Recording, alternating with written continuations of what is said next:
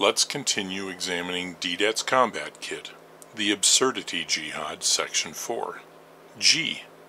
To eat feces and drink urine. 2 Kings 18:27 and Isaiah 36:12. H. Dung on your faces. Malachi 2:3. I. To eat cake with feces. Ezekiel 4:12 through 15. This is pretty much the set of absurdities I would describe as Islamic toilet thinking. The childish fascination with bodily functions and sudden discovery of responsibility for bodily self-control. Such causes Muslims like Muhammad and Deedat to blush and fluster, triggering invention of the Jesus pooped jihad. G.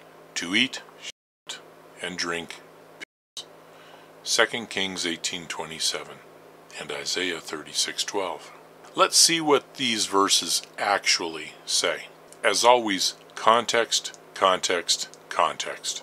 And rule number 1, never never ever ever believe what a Muslim says the Bible says. To eat feces and drink urine. Read this written like that, and you'd think the Bible commands you to do this. And that is Deedat's damned lying intention. 2 Kings 18:13. In the fourteenth year of King Hezekiah, Sennacherib, king of Assyria, came up against all the fortified cities of Judah and took them. So here is the context. The king of Assyria has come to war against King Hezekiah.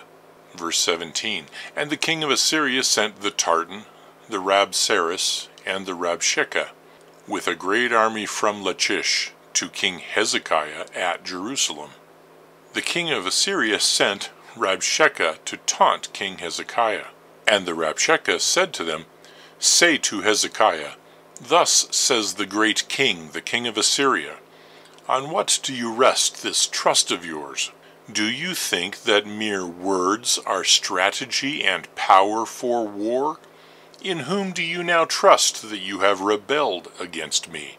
Allow me to translate that for you. You've been talking smack. Your mouth been writing checks your body and army cannot cash. Then Eliakim the son of Hilkiah and Shebna of Anjoah said to the Rabshakeh, Please, please speak to your servants in Aramaic, for we understand it.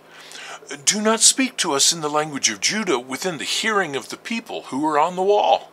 Please don't taunt us in the language our people can understand. Don't make us leaders look bad with your verbal insults. In today's culture and rampant profanity, this would be full of colorful language.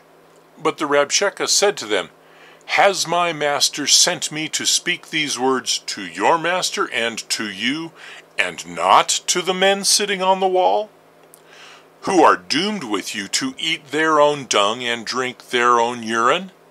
Nah, we want your soldiers to hear and know what's going to happen to them if they fight for you. They won't like what happens next.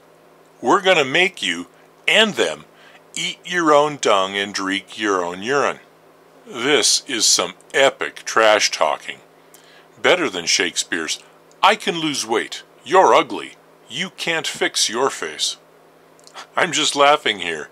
We think we moderns are so liberated and big and bad to speak our minds. Trash talking has gone on for thousands of years, and if you really want to think about it, we are devolving, returning back to this savage, ancient form of human interaction. Judeo Christian civilization is being replaced with this animalistic culture of brutality and threats. Mob rule. To eat feces and drink urine. So Deedat wants you to think the Bible commands you to commit these acts. Let's look at his next evidence. Isaiah 36:12. But the Rabshakeh said, Has my master sent me to speak these words to your master and to you, and not to the men sitting on the wall, who are doomed with you to eat their own dung and drink their own urine? Ah, okay. Prophet Isaiah is retelling the same exact story. but realize there can be a motive to dogpile and show more than one verse. It can be a way to create legitimacy by giving it the appearance of widespread Bible commands to eat dung and drink urine. Yep, it's in there twice. You'll get no argument from me on that. But this is not a command for Jewish dietary practices. Even though Deedat is willing to lie his way into hell to convince you it was. But the Rabshakeh said, Has my master sent me to speak these words to your master and to you, and not to the men sitting on the wall, who are doomed with you to eat their own dung and drink their own urine? Deedat even intentionally chose the most profane term he could from the list bowel movement, manure, dung, feces, excrement, poop, poo, shit. To eat shit and drink piss. He went there to hyper traumatize Muslims. Lies of Islamic shock and awfulness. His maximal gutterization directly aimed at the Word of God which saves mankind. Can you grasp the extent of the evil used by Mohammedism to spread by disgust and fear? Even as Deedat would claim Muslims are the most clean people on earth because of their five times daily prayer washing. The heart that Islam creates is as black as deep space. H. Dung on your faces. Malachi 2, verse 1. And now this decree is for you, O priests. Once again, Deedat has been consistent to misrepresent virtually everything about a text from God's Word. Dung on your faces, Malachi 2 3. Deedat has no interest in context or meaning or reason, only the lies of Islamic shock and awfulness to condition Muslims to reflexively despise and avoid God's Word. If you do not listen, and if you do not take it to heart to honor my name, says Jehovah, the Lord of hosts, I will send a curse among you, and I will curse your blessings. Yes, I have already begun to curse them, because you are not taking it to heart. The priests were not taking the name of God, Jehovah, seriously, were not treating it with honor, with respect. Behold, I will rebuke your descendants, and I will spread dung on your faces, the waste from your feasts and you will be carried off with it. This is not a command for a holy facial treatment. It is a warning of a punishment that Jehovah God was sending their way for not honoring his name, Jehovah. Behold, I will rebuke your descendants, and I will spread dung on your faces, the waste from your feasts, and you will be carried off with it. Then you will know that I have sent you this commandment, so that my covenant with Levi may continue, says the Lord of hosts. It sounds as if there was priestly human politics going on, to debate whether the descendants of Levi still had control. My covenant with him was one of life and peace which I gave to him. It called for reverence, and he revered me, and stood in awe of my name. Don't dismiss the value that God places on His name, but then pay attention to God's value of His Word. Psalm 138 2 I bow down toward your holy temple and give thanks to your name for your loving devotion and your faithfulness. You have exalted your name and your word above all else. Some translations render the order as his word above his name, but I don't think the Hebrew clearly provides that hierarchy. The Hebrew is, however, clear that his word and his name are above all else. True instruction was in his mouth, in Levi's mouth, and nothing false was found on his lips. He walked with me in peace and uprightness, and he turned many from iniquity. For the lips of a priest should preserve knowledge, and people should seek instruction from his mouth, because he is the messenger of the Lord of hosts. But you have departed from the way, and your instructions have caused many to stumble.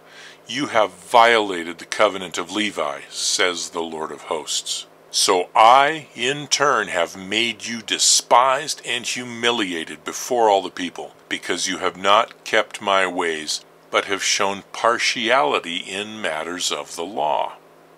God humiliated them, the priests, by making their faces dirty.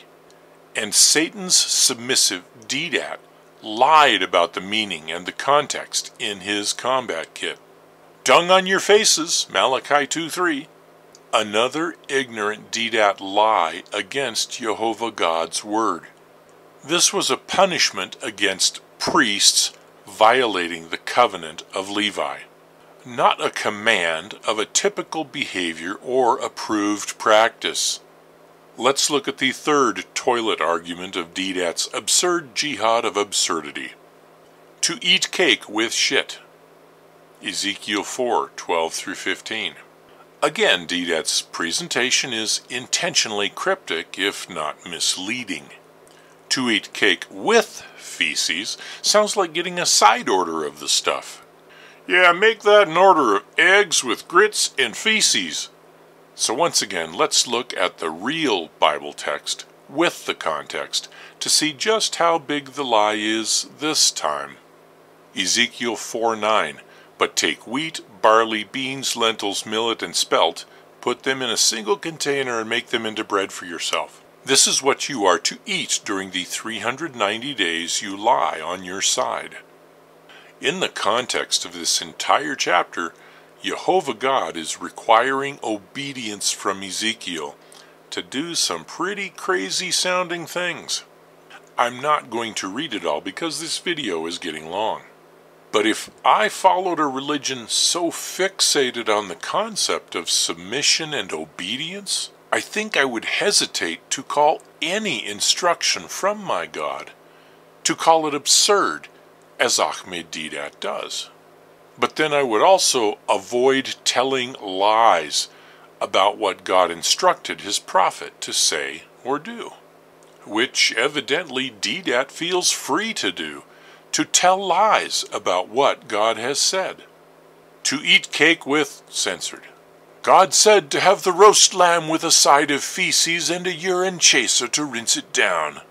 There is really no way to be excessive in the ridicule of Deedat's lies. Verse 10 You are to weigh out twenty shekels of food to eat each day, and you are to eat it at set times.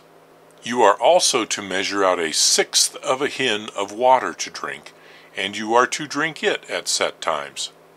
And you shall eat the food as you would a barley cake, after you bake it over dried human excrement, in the sight of the people. God actually said to use dried feces as fuel for his fire, not to eat it as a side dish. Is that the most sanitary practice? That is an irrelevant question. If you are Muslim and declare you submit to Allah, there should be nothing, nothing, nothing. He commands that you pause or hesitate for an instant before you comply and obey to eat cake with another damning lie by Deedat to condition Muslims to fear even opening and reading a Bible. If you think for even a moment that I am making up any of these claims or attributions to Deedat's combat kit, you are free to Google it and download the PDF text for yourself. Please do download and read it and see Deedat's lies for yourself. Maybe then you'll begin to listen to that still small voice in your head that is gnawing at you to think about desiring the truth. May the Spirit of God open your eyes to the light, your ears to the truth, and your heart to His Son, the Lord Jesus Christ. Amen.